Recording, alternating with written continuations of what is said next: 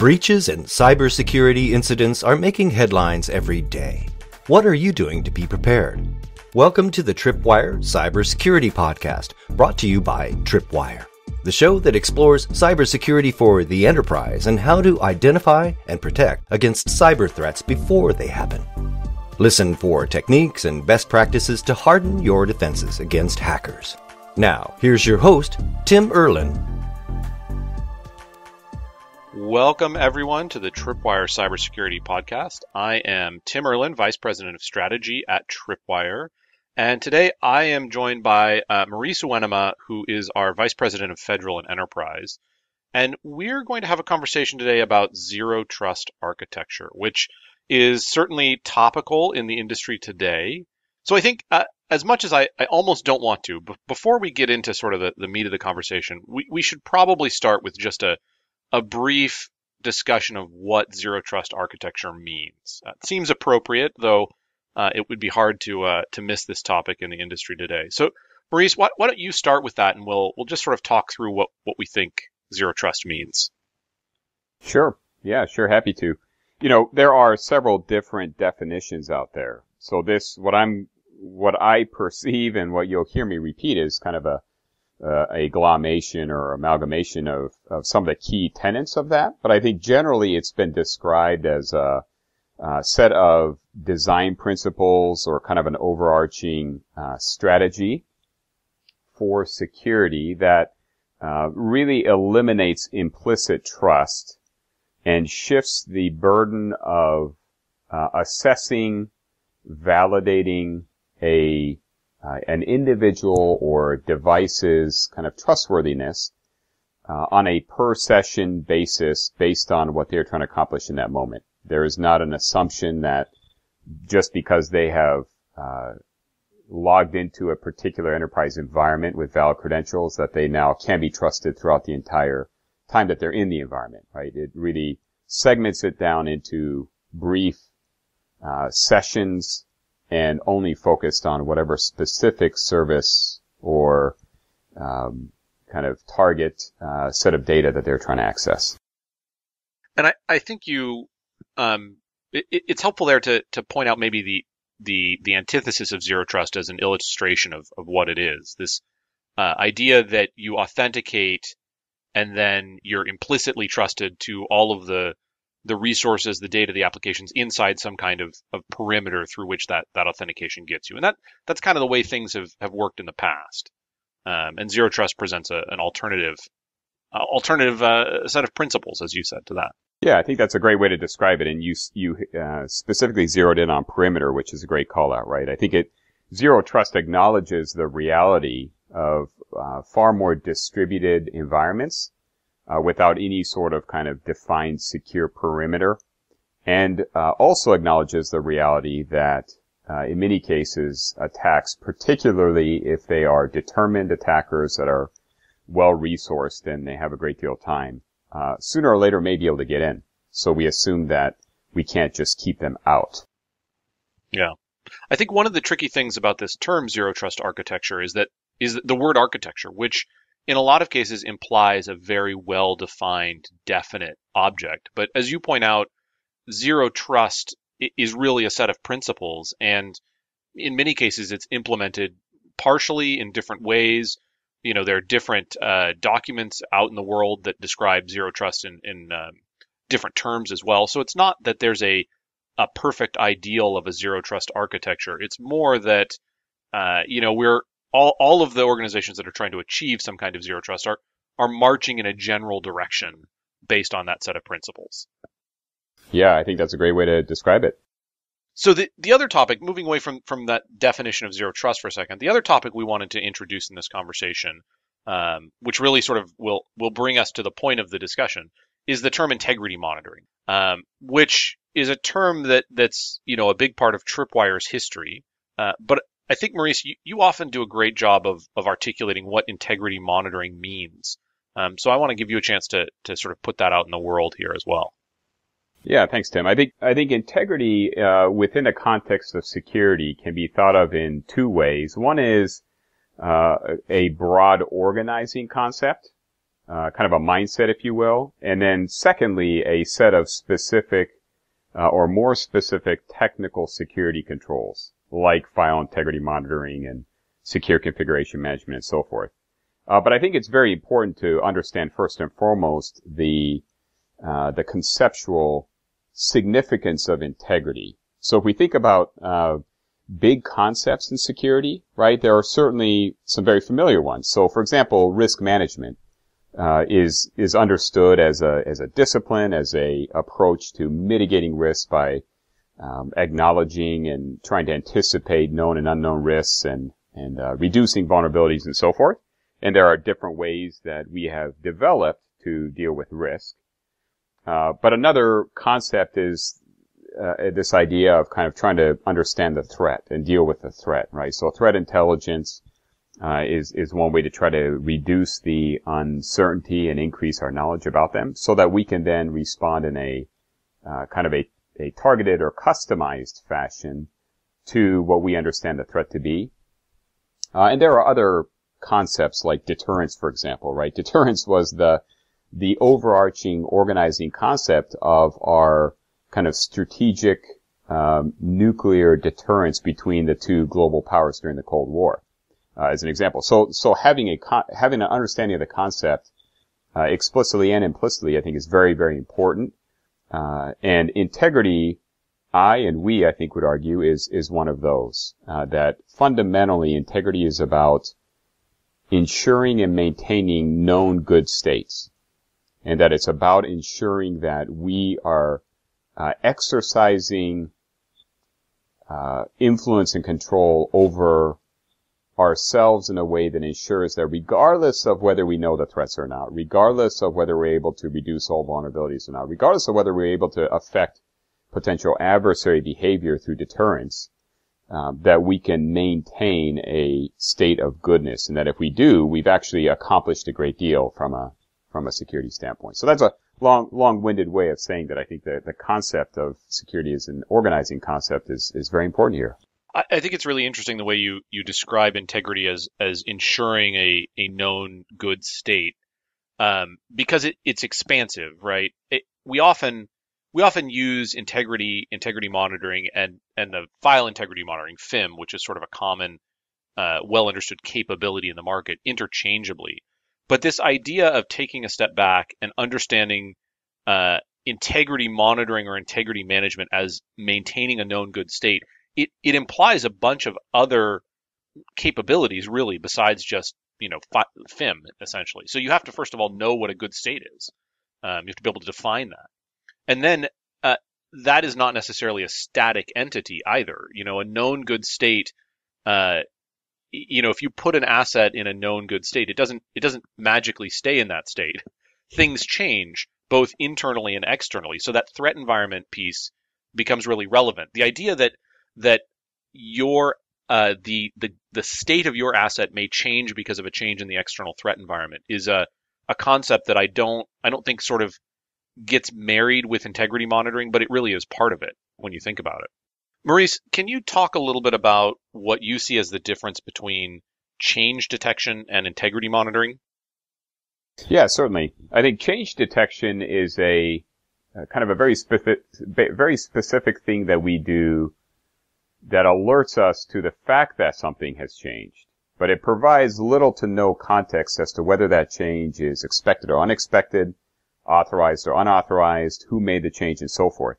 And so from a security standpoint, it's really the context of that change detection that's very, very important. So uh, if we're talking about FIM, for example, in order to do it well from a security standpoint, we have to both capture all the changes out there, but then deal with the um, inher- the inherent challenge that arises right away, which is that there is now a great deal of uh, noise, right, or signal that we have to to deal with, and being able to narrow down to focus on those changes that matter is is the challenge. You are listening to the Tripwire Cybersecurity Podcast. Thousands of organizations rely on Tripwire to serve as the core of their cybersecurity programs. Why? Because we detect suspicious activity before it becomes breach. Our systems work on site and in the cloud to find, monitor, and minimize a wide range of threats. With deep system visibility and automated compliance, we help you shorten the time it takes to catch vulnerabilities and ensure your organization is following the absolute best practices in cybersecurity today. For more information, visit tripwire.com. That's tripwire.com. So I want to I want to start trying to sort of stitch these these topics together into you know a cohesive narrative, if you will. Um, so we talked a little bit about zero trust architecture. We talked about integrity monitoring and the difference between uh, change detection and integrity monitoring, and the value of really what I would call the, the context of a of a of knowing what a trusted state is for a given asset um, in integrity monitoring. And I think we can see how these things are all related. That this idea of understanding what a trusted state is, being able to measure that trusted state um, and monitor it for changes is really a, a, concept that's foundational, has to be foundational to, to a, a, successful zero trust architecture. Does that make sense to you, Maurice? It absolutely does. And I, and I would take it a step further actually and suggest that zero trust uh, assumes that integrity as a broad concept is a key principle in the sense that uh, there is a requirement for continuous revalidation of trustworthiness. So to the extent that, you know, systems are in a trustworthy state and that the human beings connecting into a particular environment or into a session uh, are trustworthy is, is essential. And then furthermore, in addition to kind of the, that general concept, there are many other um, security controls that zero trust architecture calls for that in turn need to uh, maintain its own integrity for the whole thing to work. Mm-hmm. That's right. Yeah, and and that that's something that I don't see talked about a lot, which I think is is vitally important. Is how you what what's required to actually maintain the integrity of the the the architectural components of a zero trust architecture. Um, there's a lot of conversation about uh, you know how do you authenticate successfully? How do you determine the the trustworthiness of a uh, you know a, a, requester, whether it's a, an individual or a device, but how you maintain the trustworthiness of the the systems involved in in the, the architecture itself doesn't seem to be a, a big topic of discussion. It feels to me like it's it's really missing.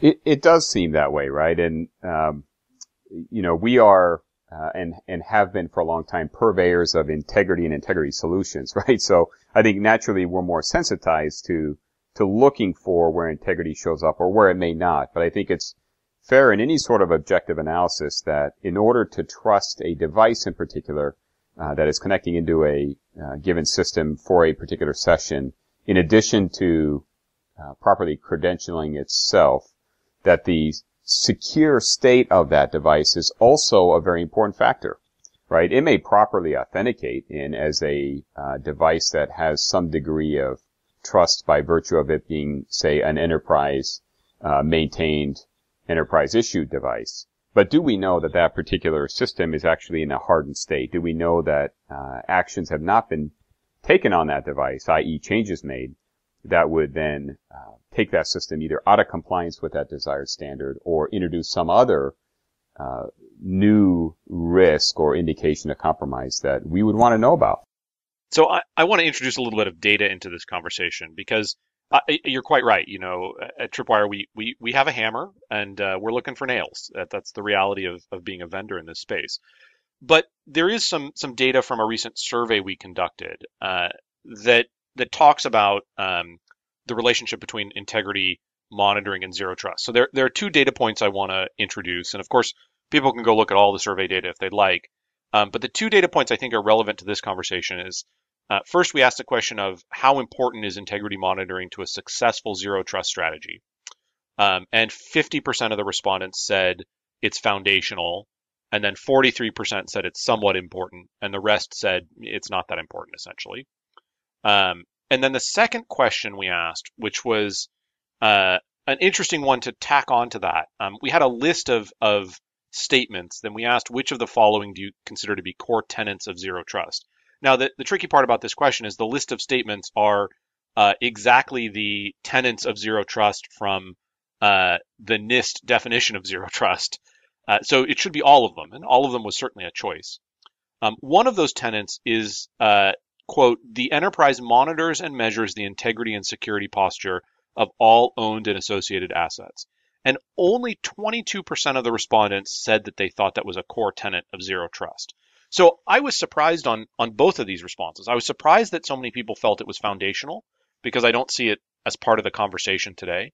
And then I was also surprised that, that so few people said that that was a core tenant, given that they had just, or at least 50% of them, had just said it was uh, foundational. So, I, Maurice, what's your reaction to that that set of data from from people in the market, from practitioners?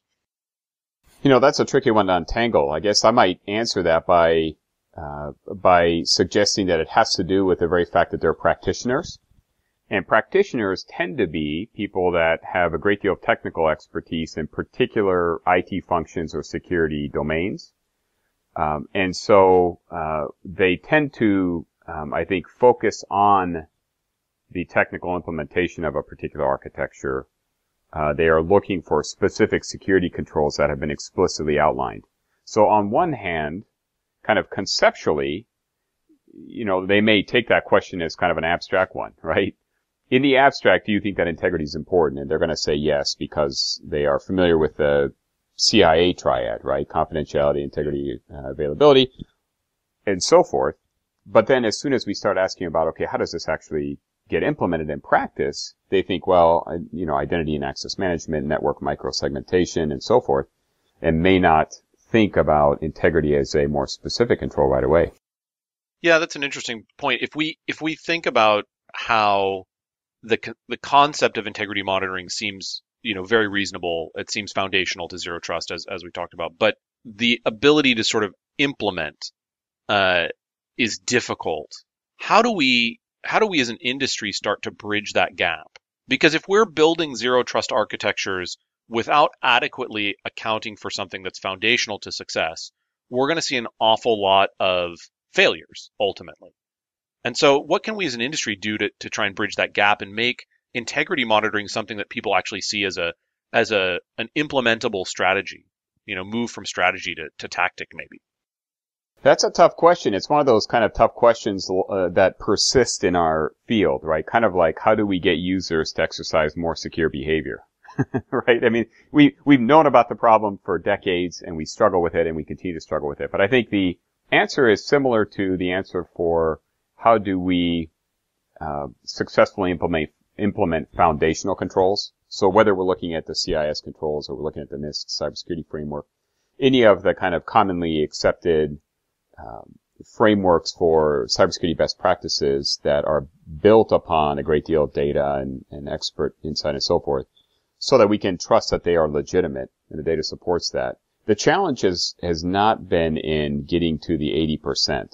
And, and I don't want to uh, underappreciate the amount of work it can get to, it can take to get to 80% good. But the real battle, if you will, is in the remaining 20%, right? And when we learn year after year, if we look at the Verizon Data Breach Investigations report, for example, I mean, it, the tone and tenor of the report has turned snarky over the years, right? Uh, and they kind of try to make it uh, light and readable to their credit, but it's the same old, same old in many, many cases. And so the question is not, is the thing to do magical, unique, difficult? It's how do we do it consistently at scale and reach the parts of the environment that need to be reached? Uh, and integrity is, is very much that, right? You can't claim integrity if you're only, uh, you can't, claim integrity and character if you're only telling the truth 80% of the time, right? It needs to be pretty close to 100%.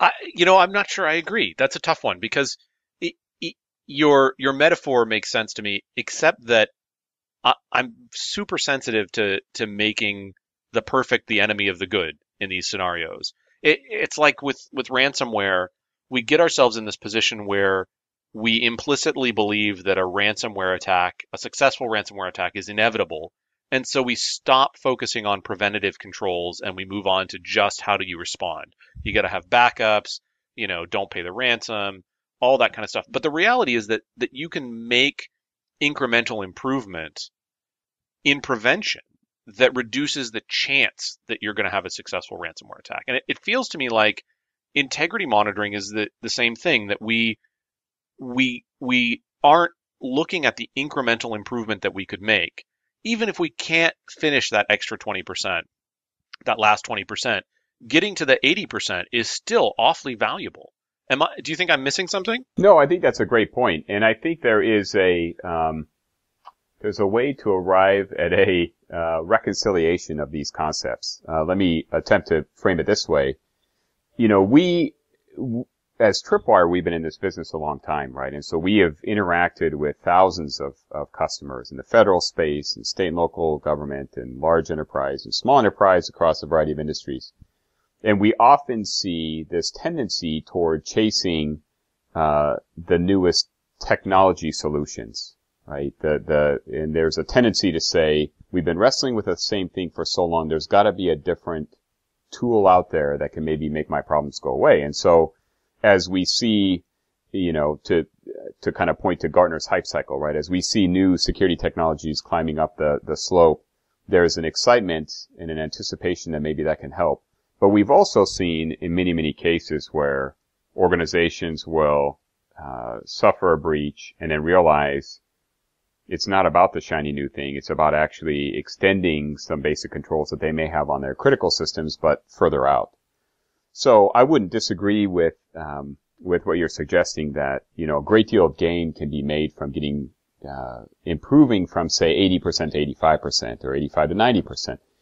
Uh, typically, there is a trade-off for the organization in terms of where they invest their time, efforts, and resources between uh, looking for a net new architecture or control or tool versus extending something that is kind of working at 80% uh, or at an 80% level and trying to improve that. And what we can consistently find is that going back to the basics and doing that well is what matters most. Yeah, I mean, I think that that's a real challenge. In many cases, it's easier to get funding for, you know, a large new project, potentially a capital expenditure, than incremental funding to expand something that, you know, frankly, when it's successful, it it it, it isn't top of mind. Um, and that that budgeting aspect is something that that we we often forget about when we're looking at the latest greatest technology and getting excited about whatever promises it can make. Um, so uh, you know this is a, a good conversation for us to have. I think we we sort of surfaced integrity monitoring as a, a core component in zero trust, and hopefully it it spreads a little bit, and other people are are going to have this conversation about how integrity is foundational to successful zero trust. But what Maurice what would you like to see change in the industry around this zero trust conversation? Because it's a big conversation with the executive order driving it. We're going to see, uh, you know, federal adoption and then kind of the waterfall from that into other commercial spaces. Um, what would you like to see change about that conversation as we move forward? I think one way to um, up level the conversation is to more explicitly uh, state and underscore the uh, the underlying assumptions that go into it. We know that um, kind of deny by default, right, or removing implicit trust is a core principle of zero trust. But I think the conversation that that we've had so far kind of helps to elucidate one of the other principles that underlie uh, zero trust as a concept.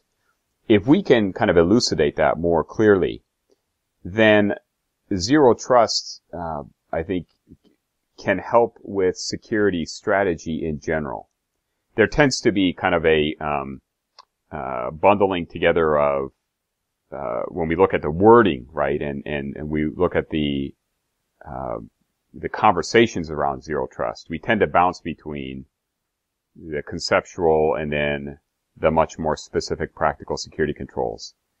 Uh, but being able to much more clearly state here are some building blocks conceptually for zero trust may help clarify a number of things about security strategy in general. So I think that that is one thing that we could do a better job of, and hopefully this brief conversation contributes in some way to that.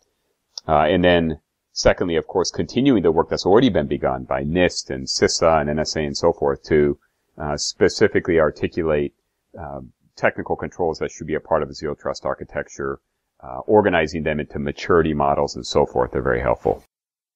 Yeah, I agree. I, I've been I've spent some time on, on the draft documents, uh, you know, the maturity model from from CISA and the OMB's draft memorandum. I, I think they're they're interesting. I don't think they're perfect by any means, but they have the, the potential to to really drive material change. Um, and that's something that uh, you know we shouldn't we shouldn't uh, think twice about. I think that's that's highly valuable. You are listening to the Tripwire Cybersecurity Podcast. Thousands of organizations rely on Tripwire to serve as the core of their cybersecurity programs. For more information, visit tripwire.com. That's tripwire.com. Maurice, I, I, want to thank you for, for spending time with us. I think it's an interesting conversation, um, hopefully interesting for everybody who, who uh, has listened as well. There's more to talk about with Zero Trust.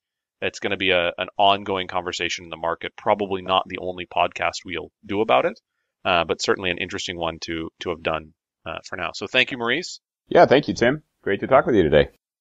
And thanks everyone for listening. And please tune in to the next episode of the Tripwire Cybersecurity Podcast. You have been listening to the Tripwire Cybersecurity Podcast. Join us next time as we explore stories of people protecting people and techniques and best practices to harden your defenses against hackers. We'll talk to you next time on the Tripwire Cybersecurity Podcast.